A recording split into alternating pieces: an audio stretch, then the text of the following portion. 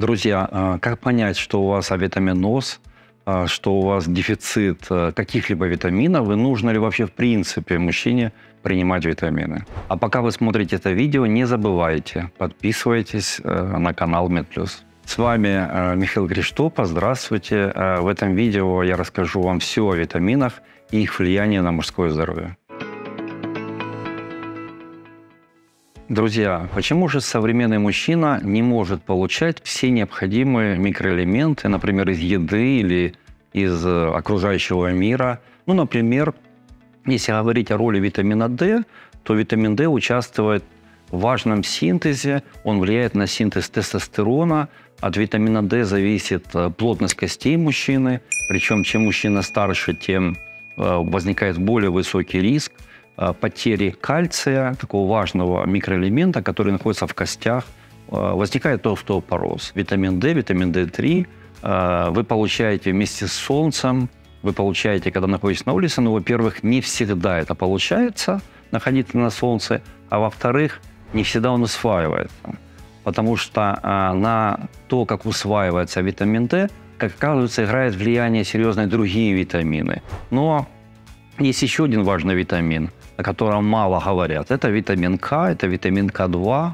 А, это тот витамин, который вообще невозможно получить э, каким-то образом организму человека. Его мало содержится в пище. Он в основном э, в организм мужчины попадает в юности, в молодости, в детстве и, по сути, хранится как депо в печени, хранится в почках. А если уровень этого витамина К2 снижается, то возникают проблемы и с витамином D3, и возникают проблемы с кальцием в костях. Поэтому для того, чтобы определиться, нужны или не нужны какие-то витамины, есть как минимум один совет – это сдать уровень витамина D3, а если есть какие-то проблемы, связанные с плотностью костей, что легко определить с помощью такого простого метода диагностики, как денситометрия, это определение плотности костей, и мы с вами можем выяснить, есть или нет дефицит того или иного витамина.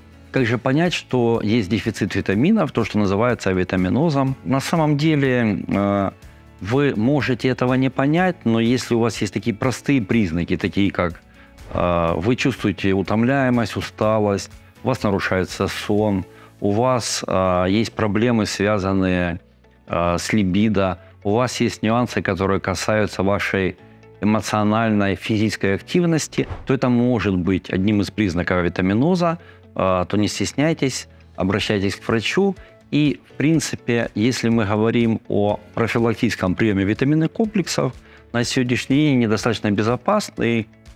Сезонно один-два раза э, в год вы можете их принимать. Только вы должны помнить, что э, передозировка витамин тоже может быть опасно. Такие витамины, как, например, витамин D, а, витамины группы В а, при высоком уровне могут привести к серьезным опасностям для вашего здоровья, не только мужского, но и общего здоровья, нарушение функции почек, нарушение функции печени. Друзья, как же может повлиять на потенцию, на либидо дефицит витаминов – а, Все на самом деле просто. Либидо зависит от такого важного гормона, как тестостерон, а при авитаминозе, при дефиците ряда витаминов, продукция тестостерона семенными железами снижается, поэтому при авитаминозе одно из проявлений а, у мужчины – это не только ослабление его либидо, полового желания, но и ослабление физической активности, умственной активности. И, в принципе, может возникнуть даже апатия выполнению какой-то деятельности.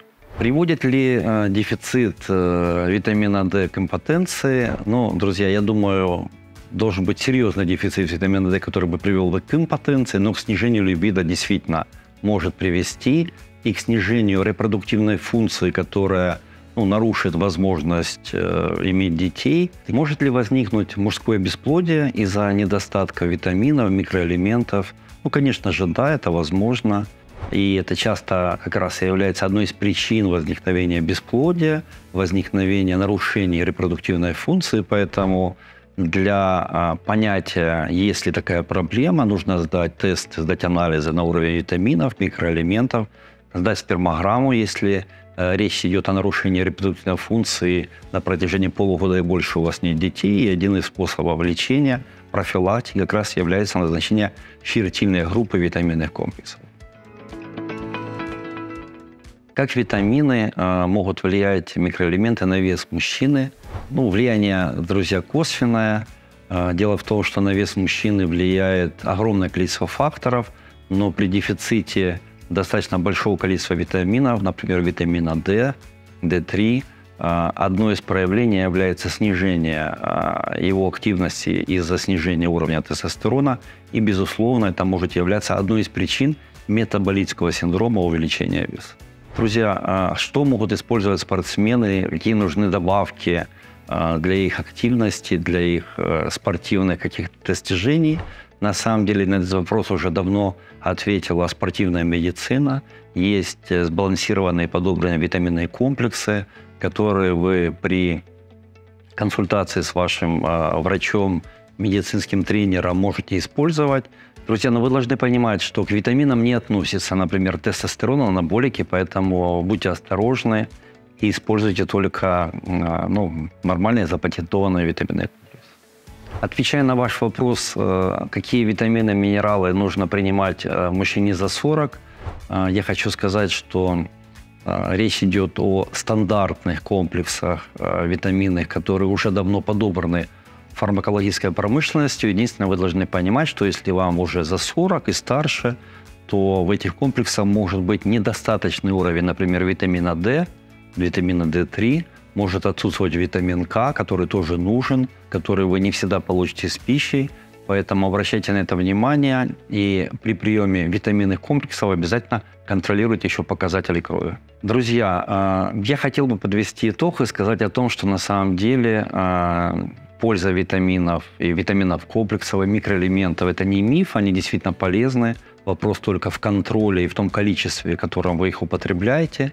Поэтому в итоге хотелось бы вам посоветовать делать это совместно с врачом, э, консультироваться, контролировать показатели крови. Друзья, пишите э, комментарии, вопросы под этим видео. Не забывайте задавать ваши вопросы. И, возможно, вы какие-то темы хотели бы обсудить дальше в наших дальнейших встречах. Не стесняйтесь, пишите об этом. С вами я, Михаил Криштопа, мы на канале MedPlus. А, не забывайте подписаться на наш канал, жмите на колокольчик, делитесь этим видео в соцсетях. А, до новых встреч!